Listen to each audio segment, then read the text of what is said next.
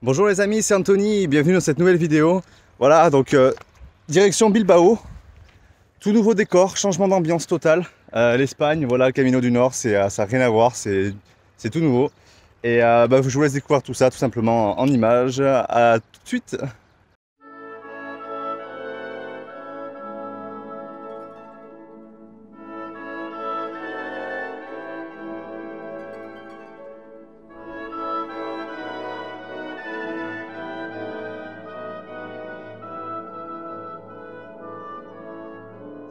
Ça m'énerve parce que d'habitude, bon, je suis quand même tolérant, tout ça avec moi-même par rapport à mes ressentis, mais le truc c'est que dans ces paysages magnifiques, ces traînées là, ça voile tellement le ciel, tellement le paysage, soi-disant pour protéger la couche d'ozone. Mais voilà, ça dénature tellement le, bah, la nature même de ce qui est quoi. Et je trouve, là il n'y en a pas beaucoup encore, mais et par moments c'est c'est tout le ciel quoi. Je sais pas ce que vous en pensez, mais ça me gonfle.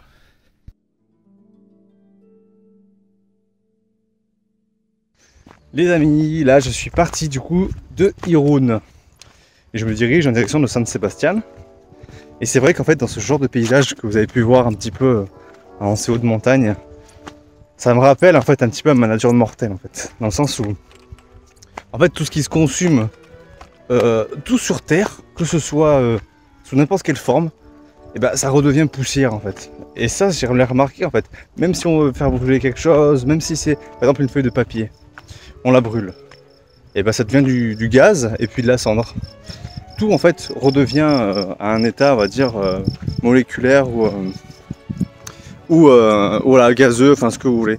Et c'est là où je me dis mais en fait on se prend vraiment souvent trop la tête parce que finalement on, se- on- essaie d'accomplir des choses folles euh, on va dire, euh, je parle en, la vie en société. hein.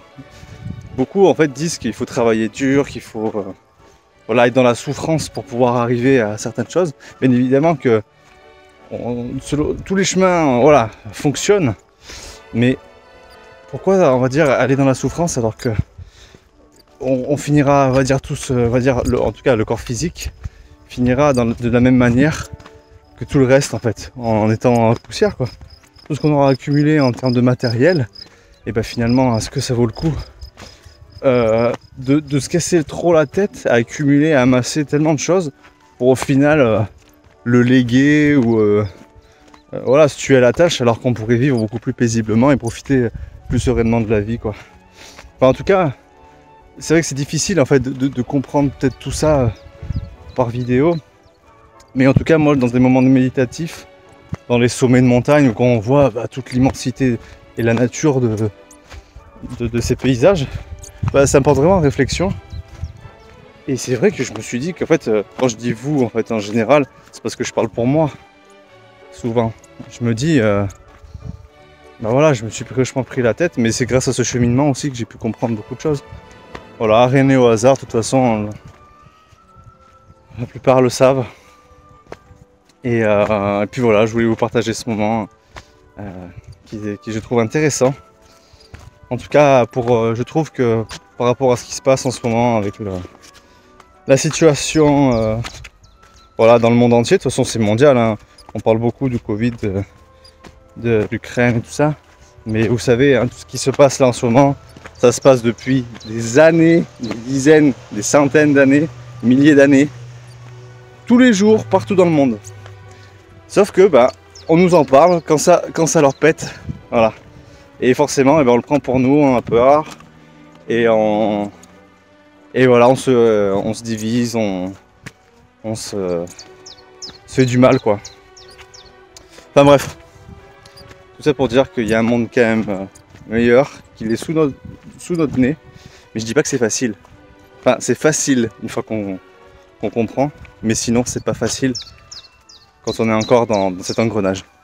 Voilà les amis, bisous à tous, à bientôt.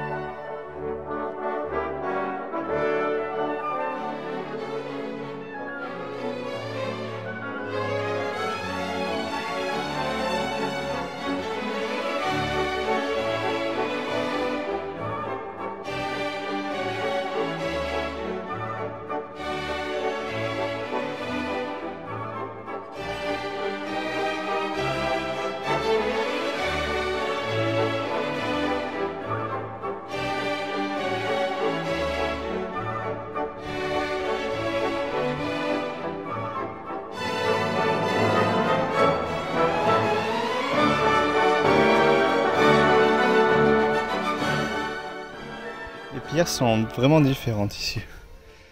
Ça fait, ça fait un peu préhistorique. les roches, les, bah, les pierres en général quoi.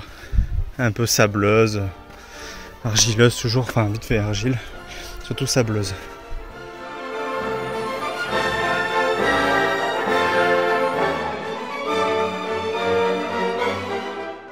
Trop les synchronicités. Là, je suis parti d'Irun, du coup, je vais arriver à San Sébastien dans quelques kilomètres.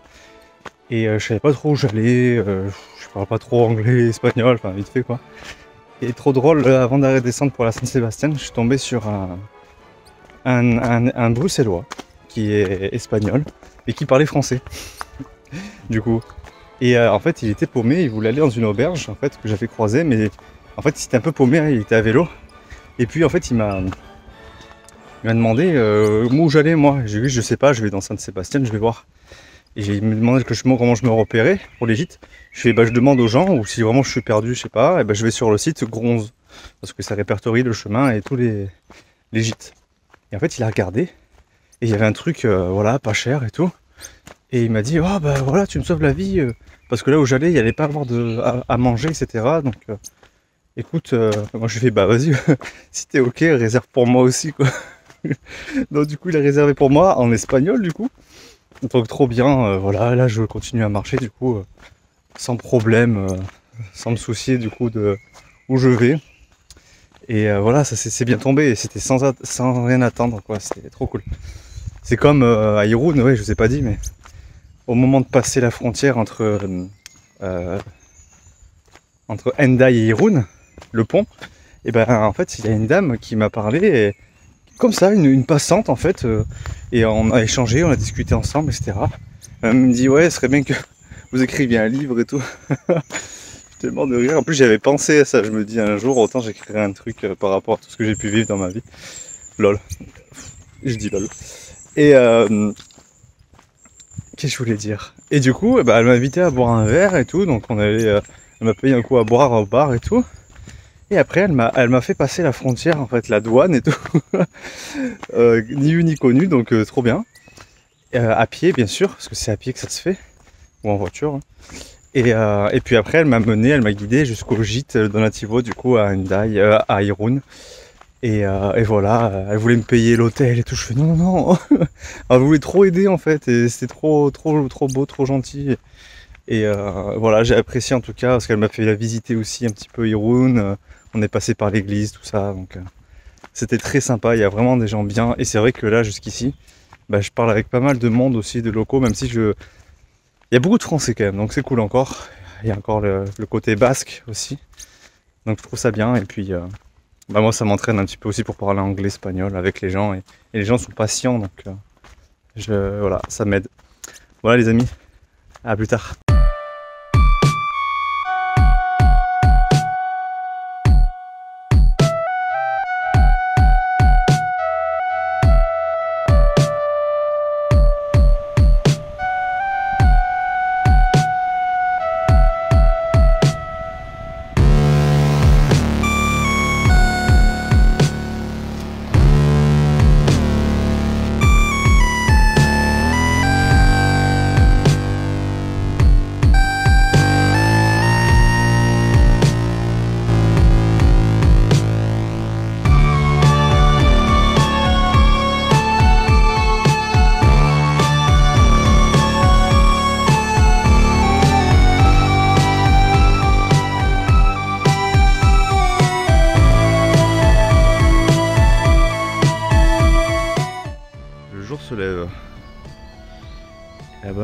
Cathédrale, je crois. Je savais même pas. Non, c'est pas une cathédrale. Je savais même pas qu'il y avait ça. Allez, c'est parti.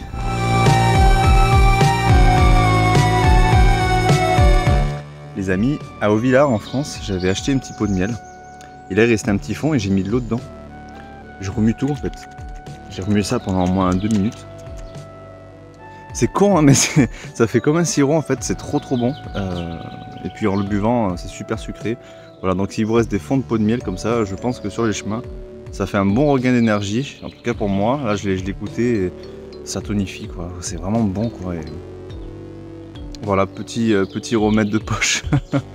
L'eau avec le miel directement dans le pot à consommer euh, voilà, sans modération. Ça fait du bien.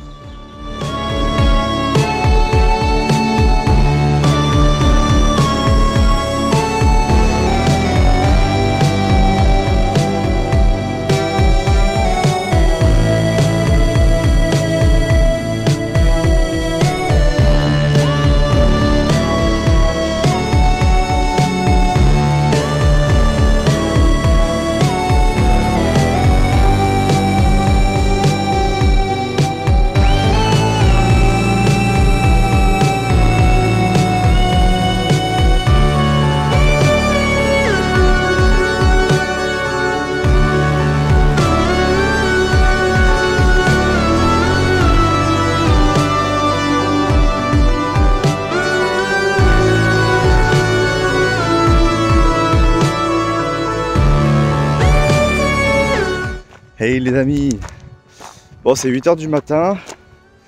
Euh, je suis en, marche, je me souviens même plus. Le, ah si, à Askiru. C'est un petit village, voilà, un petit hameau qui était euh, pas loin de la côte en Espagne. Et, euh, c'est vrai que la partie espagnole, c'est c'est plein de questionnements, c'est plein de choses, hein, c'est totalement différent. Moi j'avais déjà fait le français, mais ce que j'apprécie sur le Camino du Nord, bah, déjà, c'est qu'il y a moins de pèlerins. Il y a plus de Français que ce que je l'imaginais. Mais euh, bon, après, moi, je vais à mon rythme, hein, vu que ça fait un moment que je marche. Donc, euh, je reste pas longtemps avec les gens. Mais euh, après, j'ai remarqué aussi, c'est que bon, j'ai beaucoup plus de douleurs, voilà, physiquement.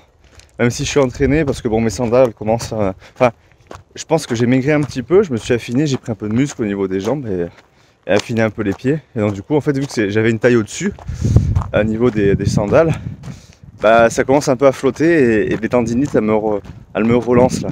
Ça me fait mal. Euh, après bon voilà, il faut que je bois un peu plus. Il y a un petit peu moins de points d'eau sur le Camino du Nord pour l'instant. Même s'il y en a, mais c'est. Là, il commence à avoir les premières chaleurs. là, c'est 8h du matin. Et euh, j'ai déjà envie, envie d'enlever ma veste. Ce que je vais faire dans pas longtemps. Et c'est vrai que le chemin il est beaucoup plus dur qu'au puits envolé. Hein. Honnêtement, la, voie du puits envolé, c'est pas. Au début, c'est quand on y va sans entraînement, c'est galère, hein, on va se mentir. Mais euh, sur le Camino du Nord, euh, j'aurais commencé par là. Honnêtement, euh, je crois que j'aurais bifurqué, sur le français ou alors j'aurais vraiment pris plus le temps. Parce qu'après, bon, je fais entre 25 et 30 par jour. Après, les paysages sont sublimes, sont magnifiques, c'est incroyable. C'est beaucoup de stations balnéaires, mais aussi beaucoup de montagnes, avec des vues incroyables. Un air de, enfin voilà, l'impression d'être, je sais pas, en arrière dans le temps, à l'époque, voilà, de nos ancêtres. De toute façon, là je suis dans le Pays Basque et puis je vais avancer jusqu'au jusqu'au pays euh, celte en fait. Hein. On va passer par, euh, par plusieurs régions du nord. Et c'est là en fait où est le plus conservé euh, au niveau de la nature, au niveau de, de, ce qui nous entoure, enfin en tout cas de, de la source originelle de la, nature. Voilà. Euh, et, ce que je voulais dire, c'est que je regrette absolument pas d'être passé par là. Mais c'est quand même plus dur. Après, il y a aussi pas mal de routes goudronnées, honnêtement.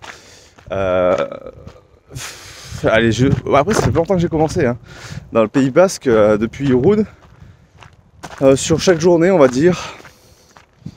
Allez, il y a quand même 70% de goudron, et 30% de, terrain euh, en forêt. en fait, le goudron, c'est pour monter généralement un peu en haut sur l'école. Ça, c'est beau. Bah, là-bas, c'est la ville, je sais pas ce que c'est. Mais quand on voit les montagnes basques derrière et tout, c'est magnifique. Bref. Et ben, euh, ouais, une fois qu'on a grimpé, on va dire, euh, la route goudronnée pour aller jusqu'au col et tout, après, on a une partie de terre, un peu forestière. Et puis c'est bien parce que ça, la forêt, ça nous cache un petit peu la visibilité. Et puis quand on y sort, généralement, on, nous en met plein la vue avec une superbe euh, l'océan, euh, avec euh, des grandes roches. C'est voilà, je me régale. Et après aussi par rapport à la langue, c'est pas évident parce que je rencontre aussi beaucoup d'Européens, de, de personnes des États-Unis, d'Australie. Euh, de Russie aussi, il y a des personnes russes qui viennent faire le chemin. Et, euh, Et c'est pas évident parce que l'accent, déjà que moi j'ai un anglais vraiment euh, de base quoi, et un espagnol de base aussi, j'arrive à, voilà, à faire des conversations de base quoi, basiques du coup, du coup. Mais dès qu'il faut un petit peu philosopher ou essayer de s'exprimer avec des mots un peu plus compliqués, et bien selon l'accent que les personnes ont, surtout moi aussi qui parle avec mon accent français, et ben pour se comprendre c'est pas évident. Donc du coup en fait on sent, enfin moi je sens que les personnes avec qui je parle elles ont envie de parler, moi aussi j'ai envie de parler, mais bah, que du coup il y a une barrière et que ça crée une sorte de gênance, même si bon, euh, on comprenne, hein. on comprend tous, parce qu'il y a beaucoup de tolérance sur ce chemin, bien évidemment, et c'est comme ça qu'on apprend. Mais euh, voilà, c'est, ça peut être frustrant, et c'est vrai qu'il y a par moments, bah, je m'arrête, je suis, je suis un peu voilà, déstabilisé. Voilà, j'ai des moments un petit peu de frustration, on. Voilà. Et pour être totalement transparent avec vous aussi, je, me livre, hein, qu'à faire. Hein. C'est vrai que par exemple, j'avais arrêté la, cigarette là euh, pendant il y a longtemps.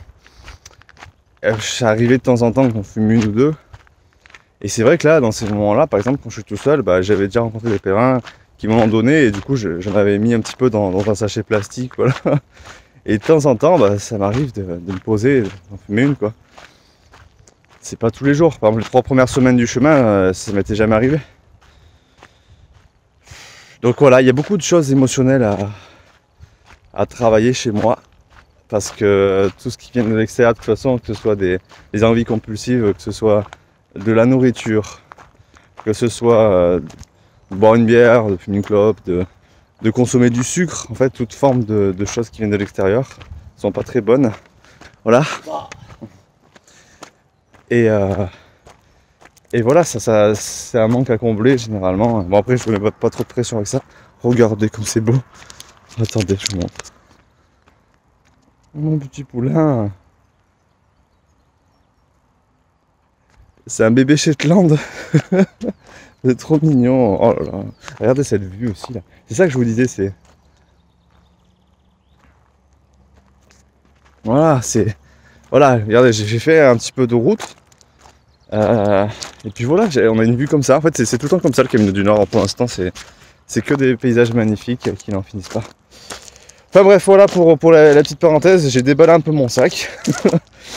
Euh, mais voilà, c'est pas de euh, frustration, c'est de se dire que bon, on est toujours maître de soi et euh, qu'il n'y a pas de voilà, il a pas de mauvais chemin, il y a juste des, expériences pour se voilà, pour se réaligner.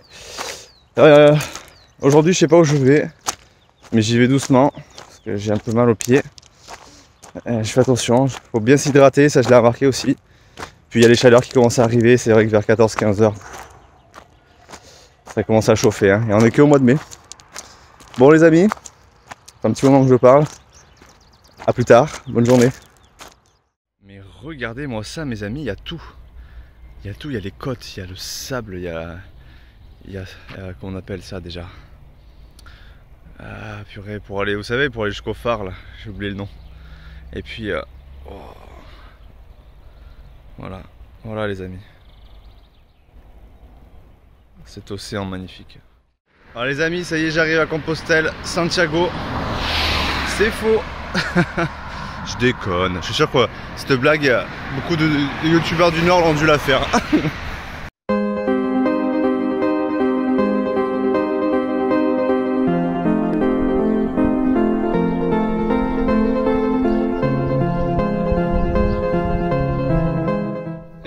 les amis, voici un épouvantail avec, euh, j'ai l'impression, euh, ça fait au niveau des poils de, la truffe, comme un haut-parleur. Donc euh, le truc, il doit aboyer. L'animal, le renard, doit aboyer. je sais pas, sinon c'est un loup. Il doit aboyer quand il y a des oiseaux qui arrivent. Mon dieu. Un mélange de Gandalf et de gilet jaune qui est trop longtemps autour des ronds-points.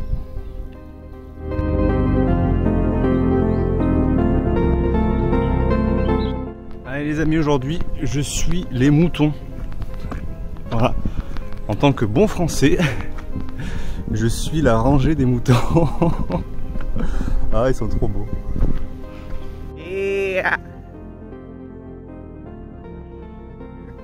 Béa.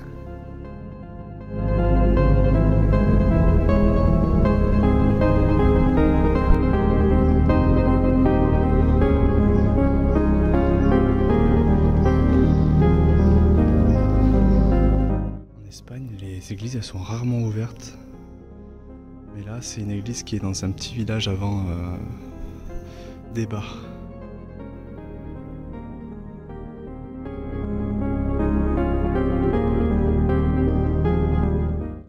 Une Vierge noire. On n'en voit pas souvent, mais en Espagne, il y en a quelques-unes quand même. Mais personne ne sait me donner la vraie signification. Donc si jamais euh, dans les commentaires vous avez la réponse, euh, n'hésitez pas à m'en faire part. Pourquoi elle porte une cape noire Bon alors les amis, il y a une technique parce qu'il y a des sacrées montées sur le Camino del Norte, mais il y a aussi de sacrées descentes. Et les descentes, ça peut faire mal aux genoux. Donc, une petite technique, c'est vraiment de marcher en fait comme ça là, en diagonale. Vous voyez, j'essaie de vous le faire avec euh, le téléphone.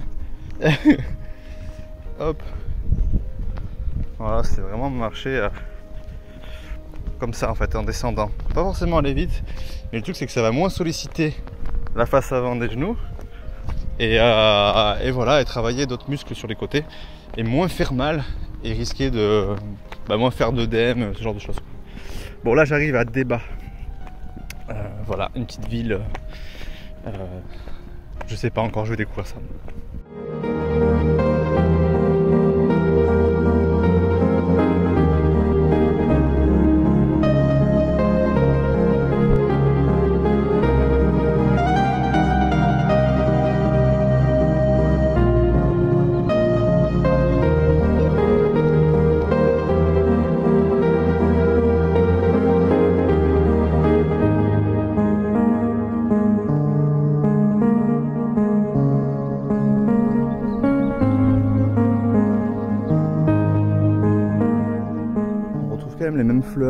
C'est le même pays, quoi. Pays basque, soit sur la partie française ou espagnole. On y retrouve ces mêmes fleurs. Les orties. Puis les mêmes petites. euh, les, euh, les mini euh, plantes carnivores. Je sais pas comment ça s'appelle.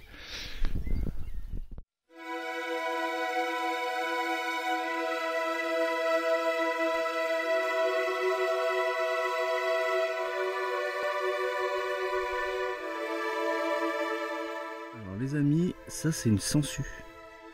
Et en fait, euh, par moment on en trouve sur les chemins, mais il n'y a pas de rivière, il n'y a pas de lac à côté. Donc je savais pas du tout que ça pouvait vivre euh, comme ça, là, sans eau.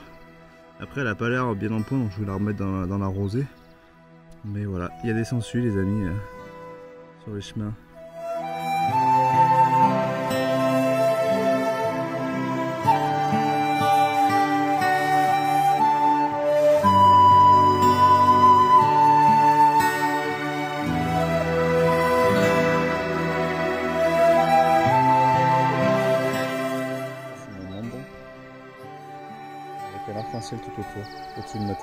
Là, le point noir, vous voyez au centre, ma tête. Et autour, a l'arc-en-ciel. Et si je bouge, ouais, je ne verrai pas trop. Vous voyez, ça suit. Super rare comme phénomène, et je sais plus comment ça s'appelle. C'est trop beau. C'est vraiment bizarre parce qu'il y a un mec qui est passé, un pèlerin, et ça lui faisait pas. Je sais pas, je pense parce que je suis resté longtemps devant et ça l'affiche quoi, mais. C'est vraiment énorme.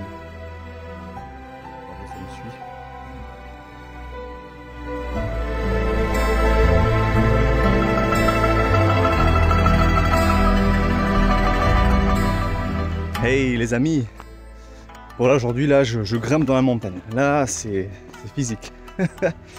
c'est sympa aussi.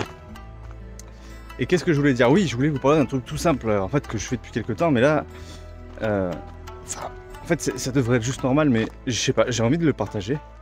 C'est que sur le chemin, ou partout dans la vie, bien évidemment, euh, par moment, on rencontre des gens, voilà, qui, euh, qui peuvent remonter des signes de, bah, de, de faiblesse, ou ils ont besoin d'aide à un certain moment, comme euh, je vais prendre un exemple bateau, si vous habitez en ville ou ailleurs, et qu'il y a une, dame, une vieille dame qui a du mal à traverser, il y en a beaucoup qui ont le réflexe de proposer de l'aide ou de laisser sa place dans le métro, dans le bus, euh, pour les personnes un peu plus vulnérables, les femmes enceintes. Enfin voilà, des, petits gestes quotidiens euh, qui font sourire, tenir la porte, enfin voilà, structure basique. Et sur le chemin, c'est un peu pareil, mais en mode euh, quand il y a quelqu'un qui a des douleurs, par exemple là je viens de rencontrer un, pèlerin, un Allemand, qui, a commencé il y a quelques jours et qui avait déjà une genouillère. Et il a super mal et tout.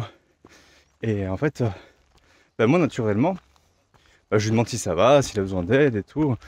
Euh, et puis il s'avérait qu'il n'avait pas de produit euh, bah, pour, soigner ou pour soulager la douleur. Donc je lui ai proposé de, lui donner de l'huile d'arnica ou de, de Golteri. Et le truc c'est que bah il a été super content.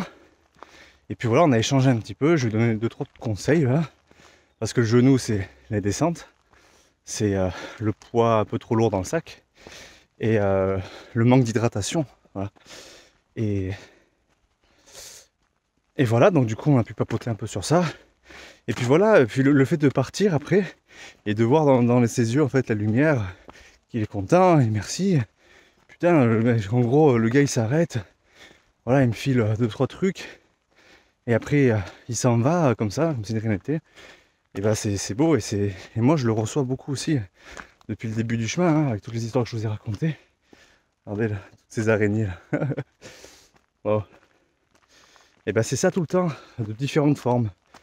Et voilà, je voulais le relever encore une fois aujourd'hui parce que c'est super intéressant et, ça si on pouvait le mettre en pratique euh, au quotidien dans la vie, d'être un petit peu moins individualiste, voilà, et bah ça permettrait de créer du lien et d'avancer plus loin. Hein. voilà. bon, ça grimpe aujourd'hui, hein. c'est une bonne étape là. Je vais descendre, je sais pas où, je sais plus comment s'appelle, Marquina je crois. Il y a une abbaye sympa. Voilà, on va faire, je vais faire un tour. J'ai rencontré pas mal de pèlerins. Enfin, j'ai rencontré. Oui, pas mal de pèlerins français. Donc, je t'ai étonné pour le Camino du Nord. Et aussi, j'ai retrouvé un pèlerin qui s'appelait Valentin super sympa que j'avais vu à Navarinx. Voilà, ça fait du bien de revoir des têtes qu'on connaît sur le Camino Nord Norté. Et puis, euh, puis voilà, pouvoir échanger, raconter un petit peu nos péripéties. C'est, juste génial quoi. En tout cas j'adore, je kiffe toujours autant, même si euh, voilà, il y a la barrière de la langue. Mais j'apprends et les gens sont extrêmement patients, c'est super. Je me régale. Voilà. Oh, vous avez entendu l'accent? Régale je roule un peu l'air. Allez, à plus tard les amis.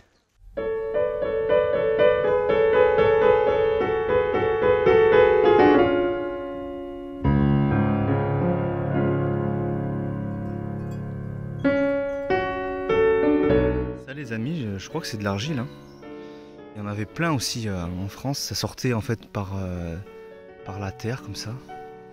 Puis ça fait plein de petites coulées. Euh bien orangé, un peu couleur rouille. Voilà.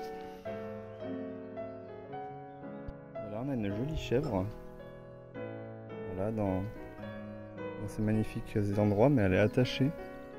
Je sais pas pourquoi, mais elle a l'air euh, pas sauvage du tout.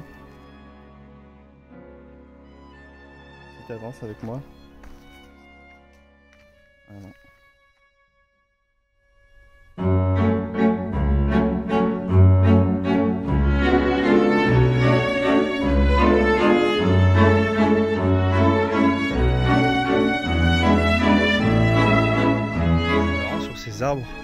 On dirait des tentacules.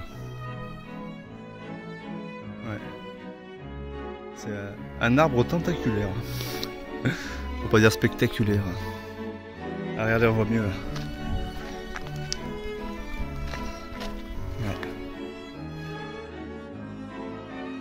Petite métaphore, les amis. Regardez. Autour de moi, on ne voit rien, c'est la brume. Et là, il y a un chemin. C'est un peu comme dans la vie, du coup on avance sans trop savoir où on va. C'est l'inconnu total, il n'y a qu'une direction. Puis parfois cette direction peut mener vers euh, d'autres ramifications, d'autres directions finalement. Mais on ne sait jamais vraiment où on met les pieds. Et, justement c'est grâce, en, ayant confiance et en allant justement de l'avant sur les chemins connus, qu'on peut justement y trouver derrière après la lumière qui s'éclaircit, la brume qui au fur et à mesure s'estompe. Voilà, par exemple là, je tourne, on commence à voir un arbre, voilà, qui euh, s'extrait un petit peu de la brume et puis on commence un petit peu à voir le jour, voilà. Le jour à travers la brume.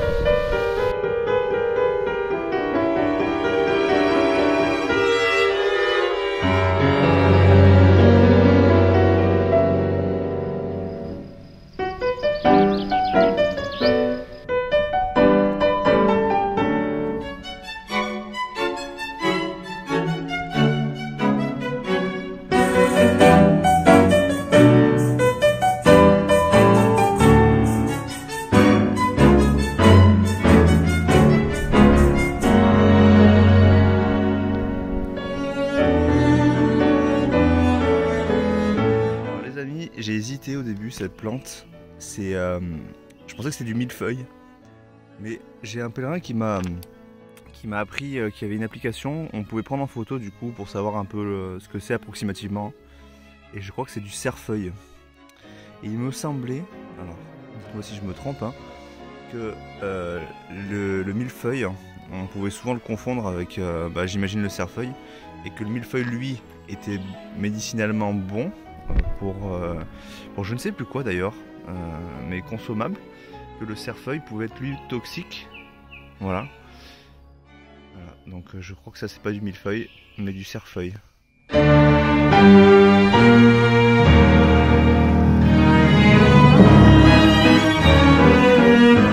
sur le chemin et puis il y avait un arbre, bon ça doit faire longtemps qu'il est comme ça, mais qui est tombé, qui bloque le chemin, donc impossible à passer à part si on veut faire Robinson. Et puis il y a ce petit chemin du coup qui a été fait j'imagine pour, passer, euh, pour le contourner. Sauf que là il y a vraiment beaucoup de ronces, donc je m'imagine la première personne qui a dû tomber sur, sur ce moment-là et qui s'est dit bon, on va devoir braver toutes ces ronces. voilà, petite pensée pour, euh, pour la première personne qui, qui a dû contourner. Il y a un constat qu'un pèlerin que j'ai rencontré avait fait. Euh, sur la fougère notamment, c'est que quand la fougère pousse, euh, que ce soit des jeunes pousses ou, euh, voilà, ou jusqu'à l'âge adulte, et hein, eh ben, ces feuilles et ces, de chaque côté en fait sont symétriques. Elles sont à la même, à la même taille quoi. La même taille, la même forme. voilà, en tout cas dans son processus de, de pousse et de vie. Et c'est un peu pareil pour les feuilles aussi, j'ai remarqué. Regardez, les feuilles sont ah, hop, sont symétriques parce qu'il y a toujours un trait au milieu, espèce de, rainure, voilà, qui fait que ça coupe la feuille en deux. Et puis voilà, c'est comme nous aussi, êtres humains. On est, voilà, notre corps est symétrique, on a un bras de chaque côté, une jambe de chaque côté. Et c'est pareil pour tout, en fait, j'ai l'impression. Pareil pour tout dans, dans la vie. Et euh, voilà, donc la vie est symétrie, géométrie. Il y a des choses. Euh, je pense qu'on comprendra jamais, mais qui fait que ça revient au fait qu'il n'y ait pas de hasard en fait. Je sais pas comment dire. Enfin bref, voilà, c'est la petite pensée euh, sans rentrer trop dans la philosophie. Mais pour vous montrer que voilà, avoir un petit œil sur ça, c'est intéressant quoi. C'est intéressant. Il y avait une petite histoire que je vous avais pas fait part encore. C'était à, Espelette. J'étais parti euh, du coup en direction de, du Camino del Norte. Euh, et, en fait, à Espelette, enfin, sur ces chemins-là, la voie de Nive, qui, euh, voilà, où il y a très peu de personnes qui passent, et ben, il s'avère qu'à Espelette, bah, du coup, il y, a très peu de gîtes aussi, il n'y a, pas grand monde, et puis du coup, bah, je m'étais perdu. Euh, et du coup, j'avais toqué à la première porte d'un gîte que j'avais croisé sur mon chemin, et j'ai été accueilli par un monsieur qui, voilà, qui était content de voir un pèlerin, et qui m'a invité à, montrer des trucs en fait chez lui. Et en fait, quand je suis rentré, parce qu'à l'extérieur, ça faisait une bâtisse simple, normale, et quand je suis rentré à l'intérieur, c'était un univers incroyable. C'est-à-dire qu'il y avait énormément de tableaux. Le, gars, c'était un peintre, en fait, un, artiste, qui adorait peindre les fonds marins. Les fonds marins de, tout type. Et en fait, il y avait, y avait tout. Il y avait des, beaux, euh, des beaux paysages, des, beaux fonds marins avec euh, tout ce qu'ils composent, que ce soit avec des, poissons, avec les plantes, avec euh, les différentes nuances de couleurs, d'océan, de mer et tout, les abysses, tout ça. Et puis d'autres avec un peu plus trash, parce que lui, il dénonce beaucoup la pollution hein, qu'il y a dans la mer, tous les mégots qui sont transportés, qui sont déversés dans la mer, euh, tous les déchets, toute la pollution, euh, que ce soit euh, dû à des gaz, à des liquides, dû au bateau, au pétrole, enfin tout un tas de choses en fait qui sont liées à l'humain, à l'argent, au besoin de, voilà, de, vouloir toujours plus. Et du coup ça, tue énormément les poissons, tout ce qui est la faune euh, aquatique. Je sais même pas si ça se dit, la faune aquatique. Et, euh, et qu'est-ce que je voulais dire? Et du coup, qui, qui dénature totalement le, bah, l'essence même de ce qui est l'océan, quoi. Et, et, voilà, il dénonce ça euh, sous divers tableaux. Et en fait, il, m'a, il en train de créer une œuvre. Ça fait deux ans qu'il est dessus. Un tableau de 34 mètres carrés. Et là, je me trompe pas quand je vous dis 34 mètres carrés. C'est plus grand qu'un studio à Paris. c'est même plus grand qu'un T1, à T2, à Paris à certains endroits. Et ce que je veux dire, c'est que sur ce tableau-là, ça fait deux ans qu'il est dessus, il y met tout son âme et il veut vraiment euh, passer un message en fait. Je vais pas spoiler parce que voilà, je veux pas forcément euh, peut-être gâcher l'effet de surprise, euh, même si bon là sur la chaîne il y a peu de chance, mais ce que je veux dire, c'est que sur ce tableau-là, il, y a énormément de messages. C'est magnifique. Et ce qu'il aimerait, c'est par la suite euh, exposer ce tableau, on va dire, dans des, dans des lieux pas encore euh, dire définis. C'est lui qui, irait, on va dire, d'exposition en exposition dans des, dans des lieux de passage qui l'inspireraient pour sensibiliser surtout les enfants, les prochaines générations, hein, surtout euh, qui, qui, eux, voilà, vont pouvoir peut-être plus actionner même si nous on peut, mais on va dire que si ça commence dès le plus jeune âge, bah voilà, ça, permet d'être plus responsable et, d'éviter euh, bah, voilà, peut-être les, futures catastrophes qui vont arriver. on verra. De toute façon, on est tous euh, responsables de soi-même et c'est en étant euh, voilà, qu'on peut limiter la casse, hein, comme on dit. Bon voilà les amis, je voulais vous faire part de ce... Ah oui, et il avait beaucoup de tableaux uniques chez lui. Euh. Il y avait même, euh, bon, je fais, je fais bref un aparté, un tableau euh, avec une lettre inédite qui datait de, de 1939 pendant la guerre. une lettre qui venait de, des affaires étrangères. Et voilà, en correspondance avec une juive. Et c'était émouvant parce que c'est des petits détails comme ça qui font que on sent qu'il y a eu de l'histoire, qui a traversé un peu, un peu le monde entier, hein, bien évidemment. Et aussi, il a eu une œuvre inédite. C'était une dame qui avait, euh, qui avait accouché chez lui, en fait. Qui avait accouché d'un enfant euh, à son domicile. Et en fait, sur, le, sur un, tableau, sur un espèce de, voilà, de, feuille de, de peinture, de tableau, elle avait posé son placenta dessus et puis il avait dessiné tout autour, euh, ça faisait comme un espèce de, fœtus, enfin ça, c'était très artistique. Et sur le moment, je pensais pas qu'en fait, bah, la chose qui, était le placenta, qui ressemblait d'ailleurs à un arbre, hein, l'arbre de vie, euh, était en fait du sang, quoi, du sang séché. Donc c'est, atypique. J'ai trouvé ça très beau et, en fait, avant de me dire tout ça, il m'a demandé ce que j'en pensais, ce que ça m'a fait ressentir. Et c'est vrai que bah, moi, ça m'a fait direct penser à, un arbre, un arbre de vie avec euh, le fœtus. Et c'est avéré que c'était, euh, ça venait bah, du coup d'un placenta, qui a abrité, enfin qui a protégé en tout cas un bébé pendant 9 mois. Voilà les amis, à tout bientôt.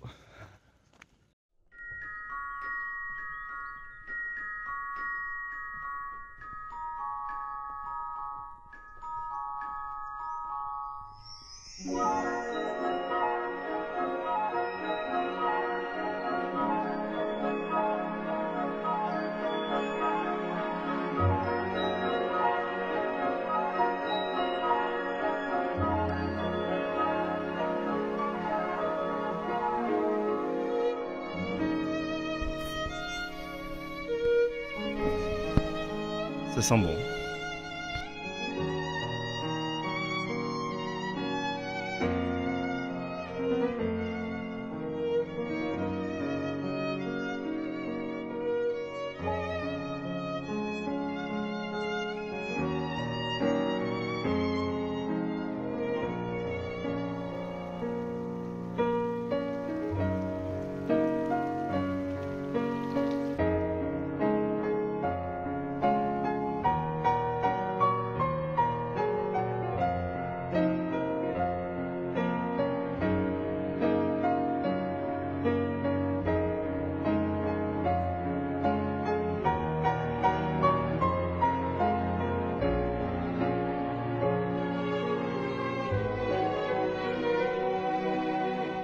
ces arbres gigantesques, magnifiques.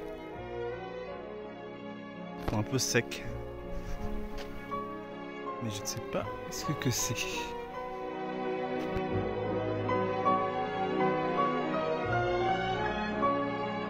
J'ai trouvé ça sur la route. Je pense que ça vient d'un résineux. J'ai pas trouvé l'arbre qui faisait tomber ça, mais ça sent un petit peu euh, comme le pin ou le sapin, vous voyez. Et ça fait des formes euh, un peu comme un émeraude carré. Puis il y en a même un qui ça fait une forme euh, d'étoile. C'est vachement beau. Je sais pas ce que c'est. Du coup, les amis, j'ai croisé une pèlerine en fait juste, à- là, là, pendant que j'étais en train de me poser la question. Et en fait, c'est vrai que j'avais, on a une application en fait qui s'appelle PlanteNet, c'est super. Ça permet de prendre la photo et de savoir ce que c'est. Et ça, c'est ça l'eucalyptus globulus. C'est de l'eucalyptus, ouais. Le truc euh, voilà, qu'on peut retrouver en huile essentielle, euh, que je propose souvent à ma famille ou mes amis. le truc à mettre sous le nez dès qu'on est un peu enrhumé, ou qu'on peut utiliser en, inhalation. Donc euh, ben voilà, ça a une drôle de, de forme, voilà, ça fait des formes de- de- d'étoiles, de, carrés, de, c'est magnifique.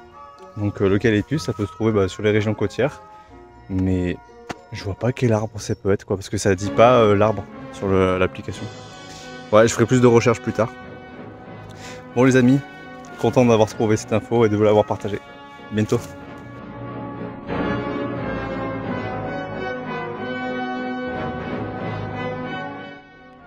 Par moment, il y a des petites fraises sauvages comme ça qui poussent. J'en avais vu à, à juste avant la frontière espagnole, mais il n'y en a pas beaucoup. hein. Mais de temps en temps, on peut en trouver. Voilà, ça fait une petite boule comme ça.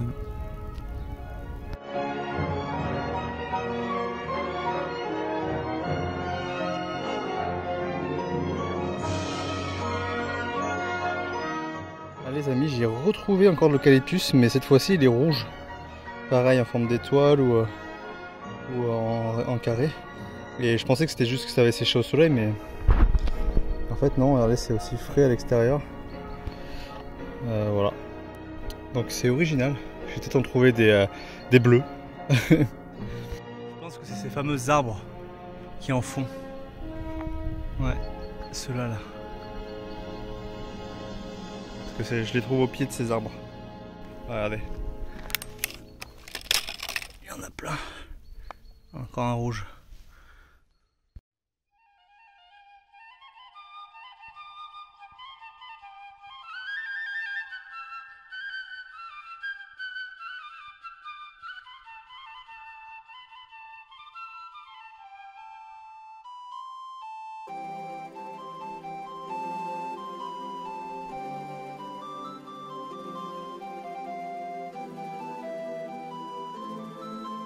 Ce sont des arbres avec des yeux, les amis.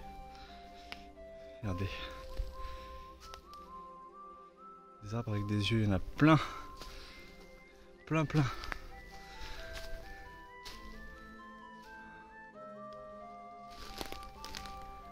Ouais. Je sais pas ce que c'est comme arbre, mais c'est beau. Il en a plein. On se sent comme observé dans cette forêt.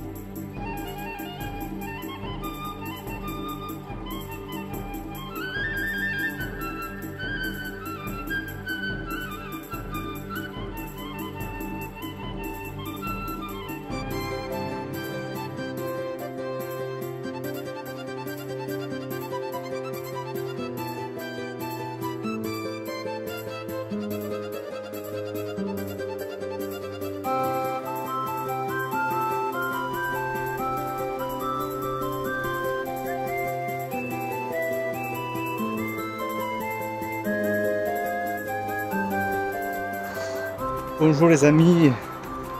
Là je suis sur euh, après Bilbao, j'ai passé Bilbao. Et là il y a plein de d'arbres fruitiers, de, baies sauvages, de, je sais pas si c'est des framboises, mais bon pas encore euh, pas encore euh, mûres ni, de fruits, mais mais voilà, c'est bondé. Aujourd'hui je suis très fatigué. Hier j'ai dormi dans un donativo. C'était une grande salle à manger en fait avec euh, des lits à l'intérieur, comme euh, sous un, avec un, une espèce de sous-plafond. En fait, le plafond était assez bas. Et du coup, la salle à manger était mélangée avec la chambre en fait. Et euh, il y avait grave de monde qui ronflait. Et moi, j'étais à côté d'une dame qui ronflait vraiment fort. Et du coup, j'ai pas très bien dormi. Et, et voilà, mais bon, après, j'ai passé quand même un bon moment. J'ai discuté avec de nouvelles personnes. C'était vraiment incroyable. Et, euh, et aujourd'hui à Bilbao, j'ai, euh, en fait, voilà, je me suis fait une réflexion euh, que j'ai envie de partager là en vidéo.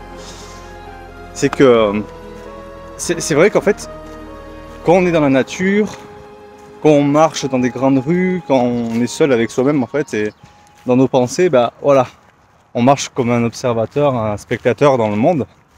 Et en fait, j'ai remarqué que dès qu'on passe une porte, dès qu'on entre chez quelqu'un, ou dès qu'on voilà, dès qu'on prend contact avec euh, quelque chose ou quelqu'un, et bah de suite euh, l'univers change. Je vais faire des exemples tout bêtes. Euh, quand vous allez rentrer chez un coiffeur, bah il y aura l'univers du coiffeur selon selon lui, c'est sa personnalité, ses goûts, etc. Et tout de suite vous allez être plongé dans un autre univers. Pareil pour une alimentation, que ce soit un supermarché ou un magasin local, l'univers va être totalement différent et vous allez plonger dans, dans une histoire différente. Et c'est pareil pour tout en fait. C'est pareil pour tout, c'est pareil pour... euh, bah, forcément quand vous allez rentrer euh, dans une grande ville aussi, il va y avoir... euh, vous savez, dans les grandes villes, il y a les arrondissements, c'est mélangé souvent par catégorie. Il y, a, il y a- il y a les quartiers plus riches, les quartiers plus pauvres.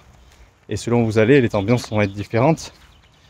Et, et c'est ça en fait que je voulais pointer du doigt, c'est que en fait c'est les univers, on se les crée par rapport à là où on va, par rapport à là où on vibre. Et,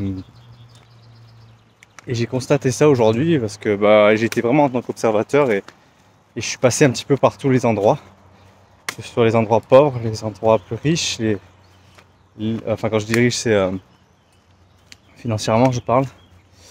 Euh, et puis ouais, dans divers magasins, voilà, juste pour aller euh, parler avec les gens. Et, c'est vrai que bah, j'ai fait ce constat que c'est vrai quoi. Dans la vie de tous les jours, je fais pas gaffe. Ces, univers-là, ils sont omniprésents. Euh, Je rentre, je sors en fonction euh, voilà, de, ce que j'ai besoin. Mais là, en ayant un œil observateur, je me rends compte qu'en fait, l'univers, on se le crée soi-même en fait. Ouais, ça c'est. J'en parle souvent de différentes manières, mais c'est ça en fait ce que je, je veux pointer du doigt, c'est vraiment chaque univers que l'on que l'on prend conscience, que l'on que l'on côtoie, il est en fonction de, notre propre création dans notre tête en fait. Voilà, c'est c'est tout bateau. Bon, je suis un peu fatigué. Je vais continuer. Euh, je me suis rendu compte qu'en fait, après Bilbao, il y a deux, deux possibilités. Possibilité de prendre par la rivière euh, pour que ce soit plus court et une possibilité par la montagne, c'est plus long.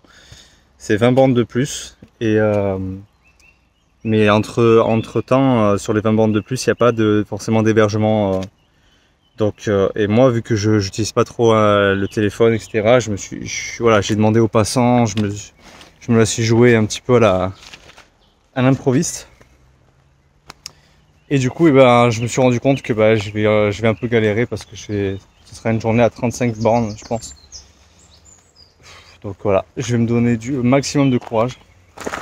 En plus, je suis deg parce que j'avais rencontré euh, des pèlerins, une pèlerine aussi, euh, à qui j'ai bien sympathisé hier, mais qui marchait pas vite.